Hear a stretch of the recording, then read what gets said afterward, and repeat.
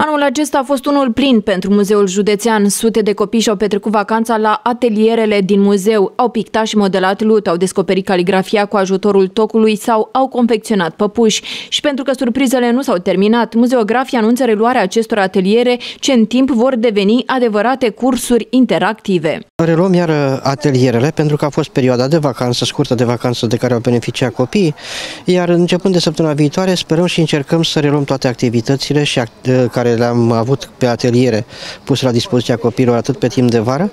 Mai mult, foaierul muzeului și galeria Artis vor fi deschise pentru noi expoziții.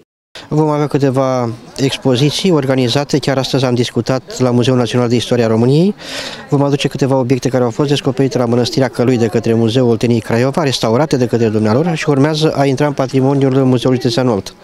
Cu această ocazie vom face o expoziție comună la care va participa Muzeul Tețanolt, Muzeul Național de Istoria României și Muzeul Olteniei Craiova. Sperăm ca în luna decembrie aceasta să se realizeze. Astăzi, la Muzeul Județean a avut loc vernisajul expoziției caricaturistului oltean Gogu Neagoe.